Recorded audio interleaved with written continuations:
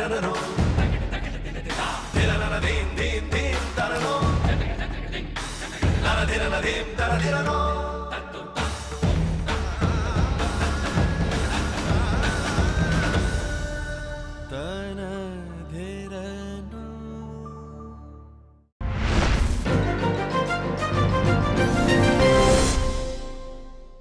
Vittorio, thanks so much for joining us. There's such a lot to talk about Vodafone because whatever you do, you make news. so I'm going to start off with a bit on the latest one, which is the fact that uh, the Supreme Court has, you know, stayed the the penalty that was supposed to be put on you by the IT department. How are you seeing the entire thing progress? Because it's been, uh, you know, going on for some time now.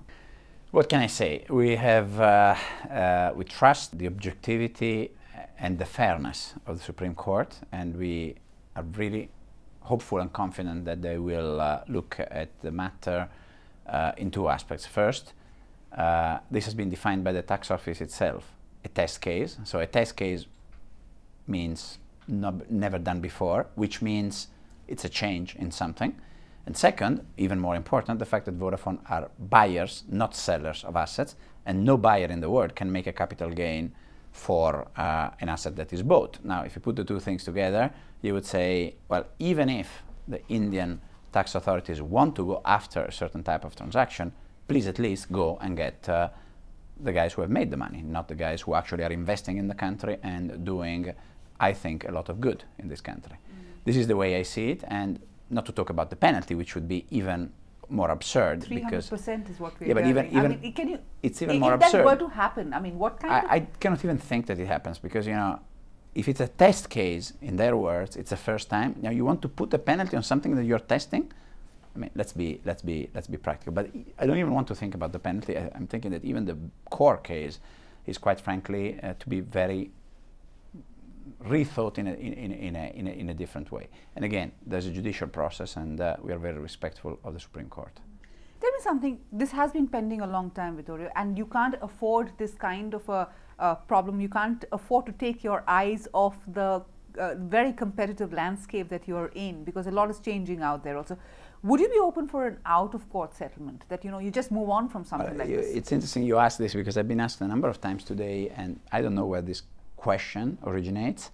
Uh, the way I see it is there's a triangle here. It's us, the judicial, and government.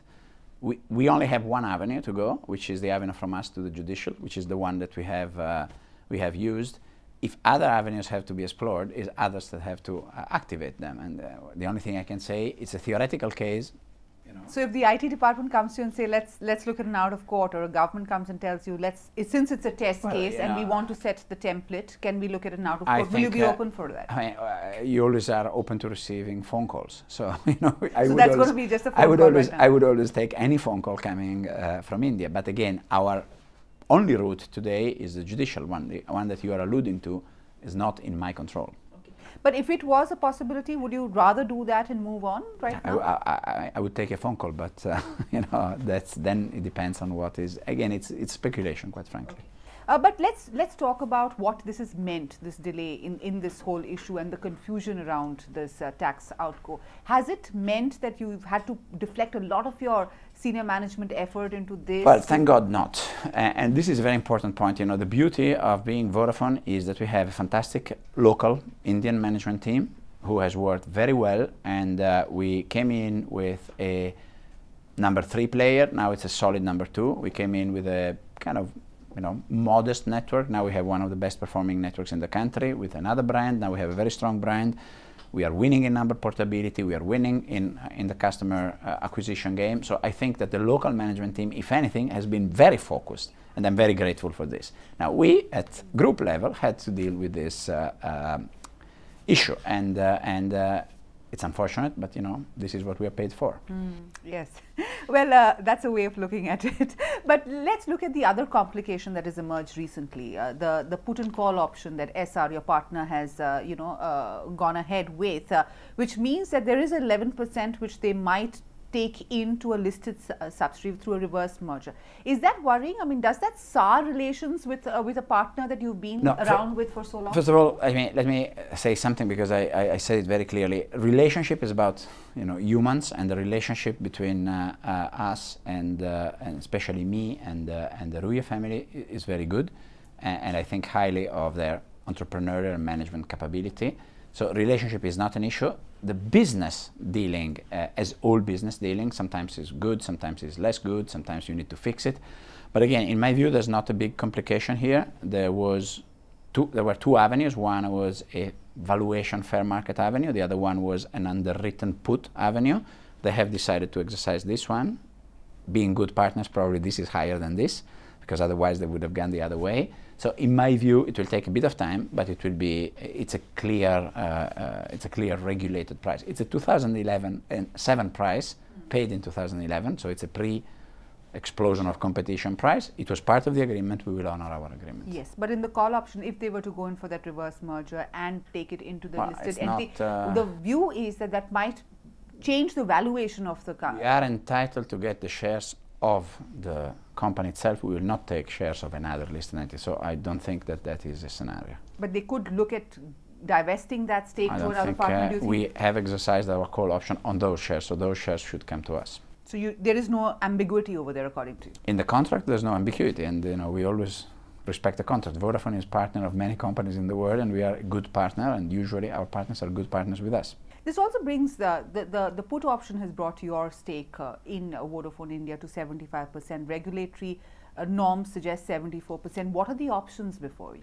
Well, we have a variety of options. We have some short-term options, some longer-term options. The short-term options is to use more our other Indian partners uh, that we have here, or to find other Indian partners that want to be part of the adventure. Longer term, I would say once 2011 is gone and when we have clarified the regulatory aspects, the option aspects, and the tax thing, I would say that we should consider also whether at some point even a listed company could be an option. Mm. And again, if there is a good story from a data perspective and from a regulatory perspective, then you know we would be I would be inclined to look at it at least. But you won't list before the regulatory issues are clear Well, and before the tax issues are clear. You want to list a good company. You want to list a good story if you do go there. I suppose that I, I mean we haven't looked into it to be honest. But you know, one of the possibilities uh, for us is to really do what we have done in South Africa. If you look at South Africa, it's a very similar story. So Vodafone went up in ownership, government went back. At some point, we listed the company. The company maintains its uh, independency, but we have indivi- local individual shareholders and all the benefits of belonging to the Vodafone Group. And guess what? South Africa is one of the companies where data is growing most. So there are some similarities here. But over here, uh, the, the next logical question is really you have Analjit Singh, who is the original owner uh, with Max, uh, you know, who, Founding father, the almost. founding father, who's still very, very well uh, entrenched in the system with his stake. Uh, you have the possibility of, you know, possibly continuing with the Ruias. Uh, and you know, hence, you know, deflecting that it's after all a percent, right? So, is that something that you'll go with existing partners rather But we than will, we will uh, discuss together and decide together. I mean, Analjit is, uh, is more than just, uh, he's a very senior person, very respected businessman, but he's also a very close advisor to us. And he's also, uh, we'll decide together. I mean, But the there's no pressure from the regulators uh, saying Well, that you know you've just got it down to 75, you have to do something. Well, you- Are they you- breathing down your neck? You're talking as if the thing has already happened and it's, it's a six month process. So, Yeah. see you in November. okay, so you have a window before you do. yeah, of course. So would listing uh, mean what kind of a window are you looking at listing? Say Um, 2012. no, we, will- we will start looking at alternatives after all these things are sorted out. So we will look at it uh, sometimes in 12, But that's a definite 12. plan. But looking at it, no, it's not a definite plan. Then we will look at the conditions and everything else, and then we'll make our mind.